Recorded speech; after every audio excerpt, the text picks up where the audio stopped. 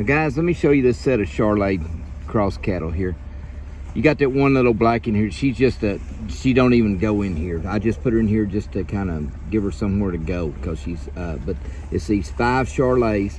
Everything in here is going to be six to eight months bred now. Uh, one of them calved out. Uh, the one that calved is this one right here. See, she says six by seven uh, last month.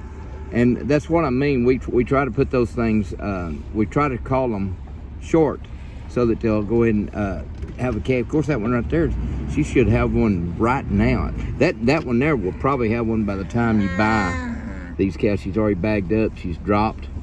Uh, I'll talk about that on another subject sometime another show you what I mean about drop there and, and uh, so you can kind of tell when they're really getting close by looking right there on the back end and uh, same thing as when a uh, woman goes into labor but this right here they're just a good little set of cows that are just uh, six there is one seven-year-old I believe that cow right there is a seven-year-old here on the end uh, if you're interested in these cows you can buy just one or two if you want to this is the thing. Excuse me. It's not COVID, okay? I'll take my ivermectin for that. Um, but this these cows here are just sure enough in good shape. You can see they're just uh, gentle as they can be. Um, there's five of them. Now, if you've got some older cows you want to trade in, bring your trade-ins. Man, I'll trade.